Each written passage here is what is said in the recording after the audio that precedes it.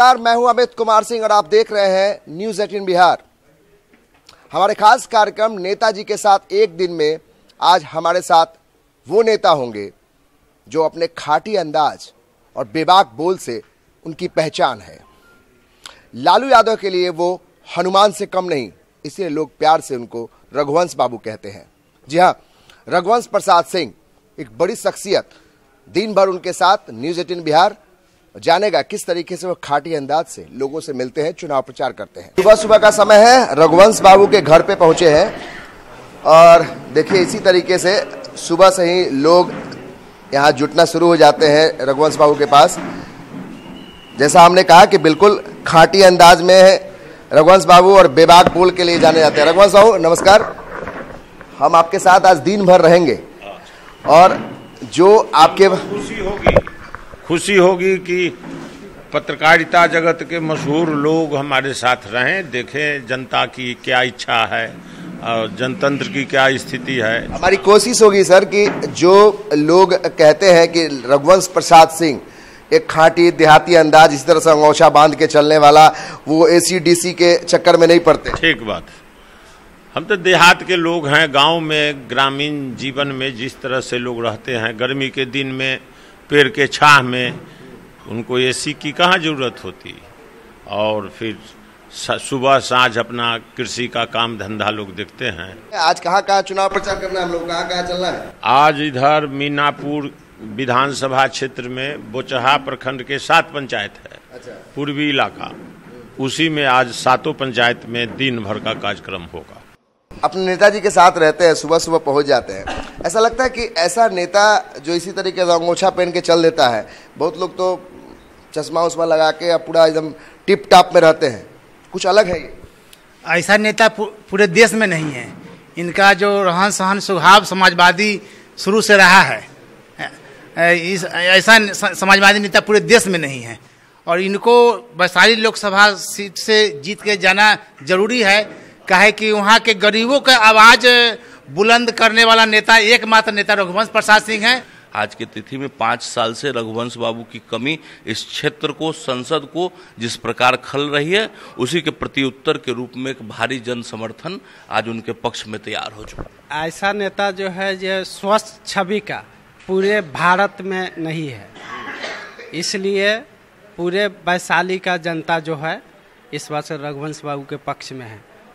वो एक बार जो है जो रामा सिंह जीत गया वैशाली के जनता धोखा खा गया इस बार धोखा खाने के पक्ष में नहीं। नहीं लगता है कि वोटर को सोचना चाहिए कि जो वाकई में हमारे विकास के लिए काम करे उनके साथ होना चाहिए? वैशाली में पिछले पाँच वर्षों तक लोगों ने ठगा ठगा महसूस किया है। इस बार सारा लोग महसूस कर रहा है कि पिछले बार में चूक हुई थी वह चूक इस बार नहीं होना है। सारा लोग रघुवंश बाबू के प्रति गोलबंद है कोई लड़ाई यहाँ नहीं है। हो जाता है मैंने पूरा चुनाव प्रचार के लिए पहले से तैयारी करना पड़ता है सब। सब योजना न बनानी पड़ती सभी क्षेत्रों में कहाँ क्या हो रहा है। हैं लोगों से लोगों से मिलते हैं जो बातचीत करते हैं मोबाइल से सूचनाएँ आती है। डेली चुनाव प्रचार से पहले सब चीज़ एक तरह से रूटीन रूटीन वर्क है रूटीन है रोज दिन ये सब करके तब निकल जाऊँगा रात का दस बजे ग्यारह बजे बारह एक दो तक में। ब्रश व्रश हुआ है कि नहीं अभी तक? नहीं कुछ नहीं हुआ है। चलिए तो अब आप- जाते हैं मैं ब्रश करूँगा कुछ तकरा बाद नहाऊँगा खाऊँगा और निकल जाऊँगा। अपने कार्यकर्ताओं से बात करते हैं तो बहुत कुछ पता चलाता है रुझान की क्या जनता जनता का जानकारी मिलती रहती है। इतना ना लोग से लाग है इतनी सहानुभूति है लोगों में अपनापन सिंसियरिटी इन्फॉर्मेशन आप लोग देते हैं। जी हाँ एकदम हर मिनट मिनट का इन्फॉर्मेशन सर को मिलता रहता है और कार्यकर्ता कार्य करते नेट है। नेट है। हाँ। अच्छा ये ट्विटर सोशल मीडिया इस कार्यकर्ता है? सब का हमारा कार्यकर्ता ही बल है लोग लोग के बल पर ही मैं हूँ। लोगों के बल पर मैं हूँ हमारा कार्यकर्ता मिलिट्री से ज़्यादा रेगुलर है। कह रहे हैं कि भाड़े पे इन्होंने एक तरह से लिया है रेंट पे और लेकिन वो आदमी जो कार्यकर्ता है वो कह रहा है कि हम ये नहीं करते हैं पैसा वैसा नहीं लेंगे। यही यही बस सर यही एक दस बाई दस का रूम में। है? सड़क से लेके संसद तक रघुवंश प्रसाद सिंह माने हाहाकार मचा देते हैं लोगों के बीच में एकदम जिस तरीके से बोलते हैं। बस यही है यही सादगी भर ज़िंदगी है। यही ज़िंदगी है इसे यही रहन सहन है। और इसी में आनंद आता है। सादगी जीवन में अच्छा लगता है। किनका किनका किताब है? डॉक्टर भीमराव अंबेडकर जीवन संघर्ष एवं विचार। ये डॉक्टर राम मनोहर लोहिया को चुने हुए भाषण व लेख डॉक्टर तो पढ़ रहे लेकिन लोग इनको फॉलो कर रहे हैं। लोग जानते हैं समझ। लोग सब फॉलो कहाँ से करेंगे? कि कठिन मार्ग है सहज मार्ग नहीं। है हम ये कह रहे हैं कि इस किताब को लेकर आप पढ़ते हैं आप इसको फॉलो भी करने की कोशिश करते हैं। आज के नेता आज की राजनीति में क्या लोहिया को और अंबेडकर जी को फॉलो करते हैं या केवल ये वोट बैंक का एक तरीका है? लोग नहीं नहीं फॉलो कर पाते जितना जितनी ऊंचाई तक वो लोग बात कह गए हैं। उतना तक, तक लोग नहीं देख पाते नहीं जान पाते। रघुवंश बाबू के लिए सब रखा रहा है? सब माननीय रघुवंश बाबू के लिए है। चुनाव प्रचार के लिए सब जाते हैं तो खाते हैं क्या रास्ता? हाँ बीच में ये बोल रहे थे भूंजा और सत्तू तू लेके जाते हैं। लंच के समय में ये सब भूंजा खाते हैं सब ये रघुवंश प्रसाद सिंह जी का लंच है। लंच है इसमें भूंजा देखिए इसमें भूंजा है। भूजा है मिर्चाई है प्याज है नमक है मिक्सचर भूजा है ये सब। पूरा देसी खाटी अंदाज में रहते हैं। खाना खाते हैं तेल मसाला परहेज करते हैं। अच्छा इसमें क्या है? इसमें लिट्टी है इसमें- अच्छा इसमें लिट्टी है। हाँ लिट्टी है। सत्तू भरा हुआ है चना के सत्तू से बनता है और इसमें कोई मिलावट नहीं है तेल मसाला का शुद्ध अभी से लेकर रात तक रात तक है। देखिए, इसमें हाँ। इसमें चटनी है है। पुदीना का चटनी है और आंवला का चटनी है। इसमें दिन भर अपना ये हाँ दिन दिन भर दिन दिन भर ये सब इसमें ये सब है। इसमें क्या सत्तू है? हाँ उसमें चने का सत्तू चने का सत्तू है आलू सहजन की सब्ज़ी है। भिंडी का भुजिया। तो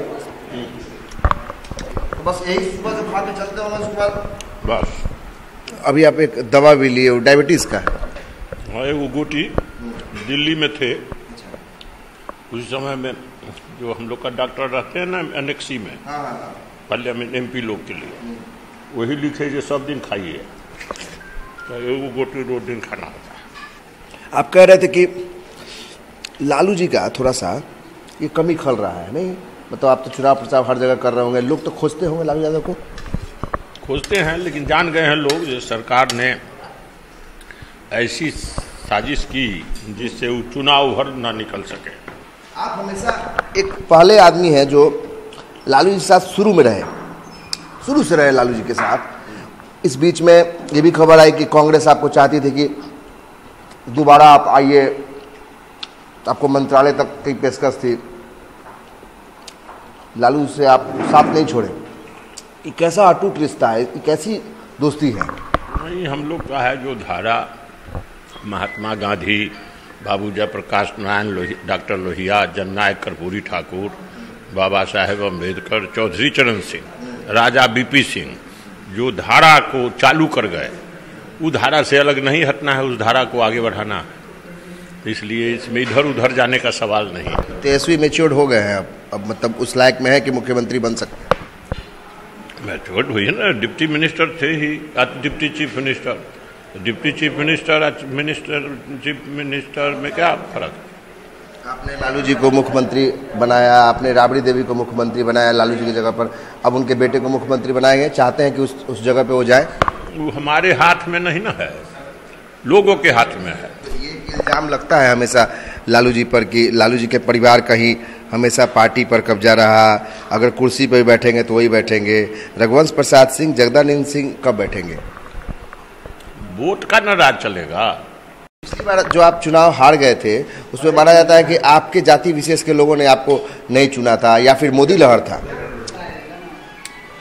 जाति वाले लोग हमसे नहीं खुश रहते हैं। अभी हम देख रहे हैं बाहर में कि जो एनडीए के नेता हैं वो बार बार बार बार ये कह रहे हैं कि सवर्णों के खिलाफ है आरजेडी सवर्ण आरक्षण के खिलाफ है आरजेडी। क्या लगता है कि उस तरह के बयान नहीं देने चाहिए थे इतने जल्दीबाजी में सवर्णों के खिलाफ? जानकारी की कमी थी। सवर्ण गरीबों को आरक्षण देने की बात कही गई है हमारी पार्टी के। लेकिन उसको लोगों ने पढ़ा ही नहीं जाना ही नहीं। हमने कहा जी नहीं हम तो पार्टी का घोषणा पत्र पढ़कर लोगों को सुना दिया। तो आप खाइए और रघुवंश बाबू ने कहा कि सवर्णों में एक बड़ा रोष है इस बात से और कहीं ना कहीं एक गलती ज़रूर हुई है। जल्दबाजी में एक फैसला लिया गया राज्यसभा में। और नॉन पॉलिटिकल ये स्टेप था। अगर ये पॉलिटिकल अगर पॉइंट ऑफ़ व्यू से सोचे तो कहीं ना कहीं बड़ा नुकसान इसका उठाना पड़ रहा है आरजेडी को। महागठबंधन को। तो रघुवंश प्रसाद सिंह के साथ न्यूज़ 18 बिहार निकल गई इनके चुनाव प्रचार में। रघुवंश बाबू आगे आगे गाड़ी के पायलट सीट के बगल में बैठे हुए हैं। सबसे ज़्यादा ये कमी खलता होगा कि लालू जी जब सभा में जाते थे तो उनको लोग देखने के लिए लोग आते थे। अब क्या है कि ऐसा कोई भी नेता नहीं है जो लालू यादव के तरह जो कि उनको देखने के लिए लोग दौड़ के आ जाए, हेलीकॉप्टर देख के हेलीकॉप्टर भी नचाते थे तीन तीन बार चार चार बार। हाँ तो उनके जैसा आकर्षण लोगों में नहीं है क्या लगता है इस बार आपका आपका जो वैशाली लोकसभा क्षेत्र है चूँकि लोकतंत्र का सबसे बड़ा कहा जाता है वैशाली को और रघुवंश प्रसाद सिंह पाँच बार यहाँ से सांसद चुने गए लेकिन मोदी लहर में भी आप हार गए। यहाँ इस बार क्या स्थिति है? मोदी लहर रहेगा कि रघुवंश प्रसाद सिंह का चलेगा? इस बार सब लोग पश्चाताप कर रहे हैं जो धोखा खा गए पिछले चुनाव में। गलती हो गई वैशाली पार्लियामेंट सुना हो गया वैशाली का नाम गुम हो गया यहाँ एमपी का दर्शन नहीं किया ये सब लोग बोलते हैं। इसलिए इस बार लोग सजग हैं दोबारे भूल नहीं होगी। अभी आप एक गीत गुनगुना रहे थे। है अपना दिल तो आवारा न जाने किस पर आए। मोहम्मद रफी के आप फ़ैन माने जाते हैं मुकेश के? रफी और मुकेश और किशोर कुमार और एस डी बर्मन ये सब गायक लोग हैं देश के कलाकार कर्णधार लोग हैं। बड़े प्यार से मिलना सबसे दुनिया में इंसान रे। क्या जाने किस भेष में बाबा मिल जाए भगवान रे। दुनिया से आदमी विदा होता निर्गुण में जो गाया जाता है, उस तरह भाव का है।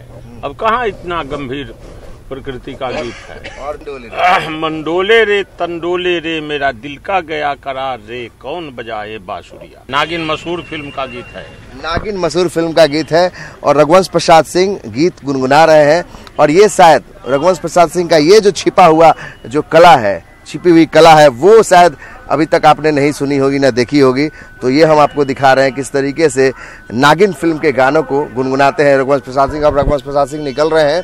देखिए तस्वीरों में निकल रहे हैं चुनाव प्रचार और ये पहली सभा मीनापुर विधानसभा क्षेत्र में है। मैं घोषणा करता हूँ कि दिल्ली में गरीब किसान मजदूर का झंडा, बिहार का झंडा ऊँचा रखा जाएगा, वैशाली का झंडा ऊँचा करेगा वहाँ पर। यही वचन दे करके आप सभी को आदाब, सलाम, नमस्कार। महागठबंधन जिंदाबाद। महागठबंधन जिंदाबाद।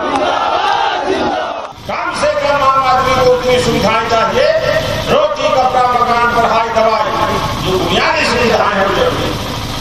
जब तक बुनियादी समस्याओं का समाधान नहीं होगा लड़ाई जारी रहेगी जब तक भूखा इंसान रहेगा धरती पर तूफ़ान रहेगा महागठबंधन जिंदाबाद जिंदाबाद जिंदाबाद महागठबंधन जिंदाबाद जिंदाबाद बलदेव छाप जिंदाबाद रघुवंश प्रसाद की सभाएँ इसी तरह से लगातार चल रही हैं। रघुवंश बाबू मानते हैं कि लड़ाई लालू यादव के लिए है? लालू यादव के लिए तो नेते लालू यादव है तो लड़ाई। लालू यादव नेते है तो लड़ाई होगा कर्मचारी के लिए। देश का नेता है लालू यादव करोड़ों लोग के पक्षधर उनके हैं समर्थक हैं करोड़ों के दिल में बसते हैं। तो इसलिए लड़ाई में वो एक मुद्दा है। रघुवंश प्रसाद सिंह लगातार इस तरह से सभाएँ कर रहे हैं। जनता क्या सोचती है? ये मानते हैं आप लोग वाकई लालू प्रसाद यादव की कमी खल रही है? बिल्कुल बिल्कुल। जनता इस बार फैसला लेगी। नेताजी बोल रहे हो सही बोल रहे हैं? सही बोल रहे हैं। सही है। हाँ सही है। वाकई में जनता महसूस कर रही है कि लालू प्रसाद यादव की कमी है इस चुनाव में?